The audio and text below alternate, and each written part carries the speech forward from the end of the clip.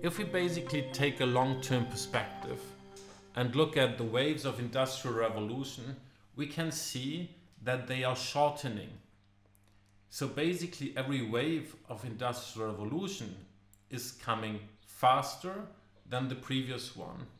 And indeed, perhaps already the term industrial revolution might be outdated because today we're very much living in a service innovation. Just 20% of the GDP of the industrialized nation, so to speak, is still about industry. The rest is, is service. And therefore, perhaps you shouldn't be talking about industrial revolution, but basically we are right now in the second information revolution and are moving towards information 3.0. Now, if you look at what is happening, it's always technological new possibilities that have driven those industrial or information revolutions. But what we have to acknowledge as well is that it always took a related cultural revolution to benefit of the industrial revolution.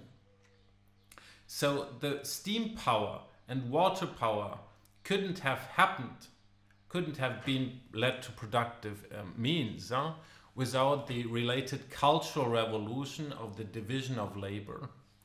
And what we're seeing right now, we are seeing another cultural revolution happening as we move from industry 2.0 to industry 3.0 to industry 4.0 to the first to the second information revolution. We are seeing that the paradigm is entirely changing. Value creation is coming back to people, to smart people, to knowledge workers who are enabled, who are thinking in networks, where project management instead of line management, where we don't lead through control anymore but through trust. Work life balance is out, huh? it's work life blending.